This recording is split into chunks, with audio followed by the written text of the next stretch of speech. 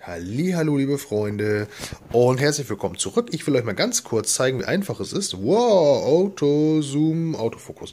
Wie einfach es ist, sich einen Körperschallwandler selber zu bauen. Ähm, man braucht eigentlich nur einen alten Lautsprecher.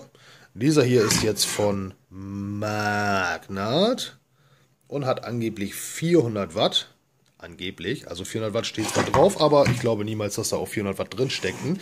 Das war so ein Drei-Wege-Ding. Selbst wenn man alle drei Lautsprecher zusammengezählt hat, kann ich mir nicht vorstellen, dass man auf 400 Watt gekommen ist. Naja, wie dem auch sei. Zwei Stück waren vorhanden, einer ist kaputt, der ist nur übrig geblieben. Der ist jetzt umgebaut und äh, darf sich jetzt Körperschallwandler nennen. Was habe ich da gemacht? Ich habe als erstes diese Membrane hier ausgetrennt, weggeschnitten. Habe dann hier unten, das hier, das ist ähm, Epoxid oder Polyesterharz, was man da nimmt, ist völlig egal. Darunter ist eine dicke, fette Unterlegscheibe mit so einer Mutter fixiert, beziehungsweise mit zwei Muttern fixiert und zentriert quasi mit diesem Plexiglas eingeklebt. Das war's auch eigentlich schon. Ähm, wenn man jetzt Musik spielen möchte mit diesem Körperschallwandler. Hört man natürlich auch ein bisschen Musik, denn ich habe hier ja noch ein bisschen Resonanzfläche, die schwingt und das Ding soll ja auch schwingen und beziehungsweise es soll ja alles schwingen.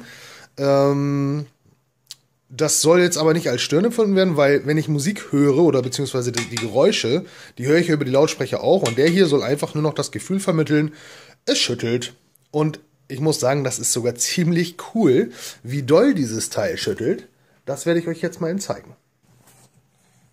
So, ich habe mal einen schönen äh, GEMA-freien Song ausgeladen und jetzt werde ich mal ein bisschen lauter machen.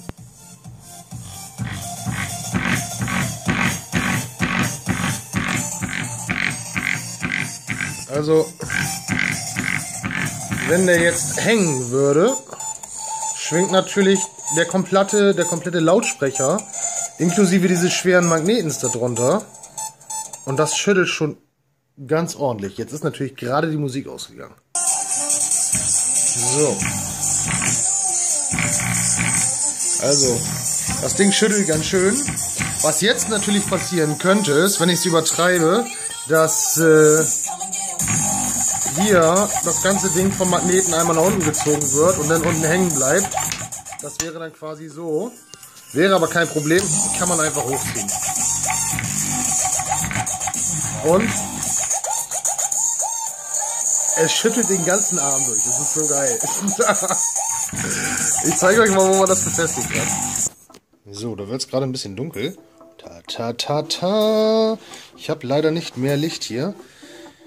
Ich habe hier jetzt den Körperschallwandler an äh, einen alten Bürostuhl geschraubt. Ne? Richtig schön, richtig schön feste Verbindung. Und wenn man jetzt Musik hört oder beispielsweise Spiele spielt, dann wird man ordentlich durchgeschüttelt. Den Bürostuhl konnte ich dafür opfern. Reißverschluss wieder zu. So.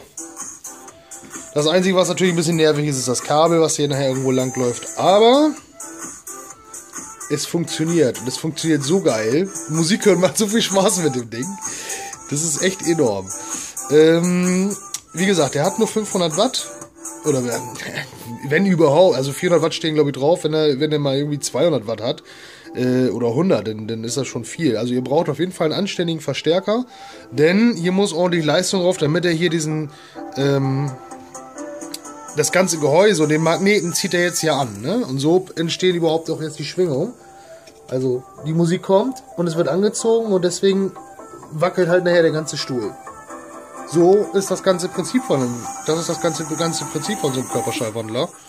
Und äh, ja, wenn ihr Bock habt, baut's nach, probiert's aus, ist es geil. Ich sage euch, es sagt total Bock damit, irgendwie Dubstep zu hören oder so. Ich höre zwar nicht ganz so viel Dubstep oder irgendwie Techno oder sowas, das ist cool, wenn man so durchgeschüttelt wird. Ja, ich sag danke fürs Zuschauen. Bis zum nächsten Mal. Macht's gut.